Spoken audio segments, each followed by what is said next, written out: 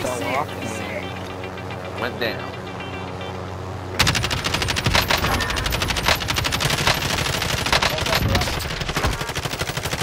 I just beamed the fuck out of my guy.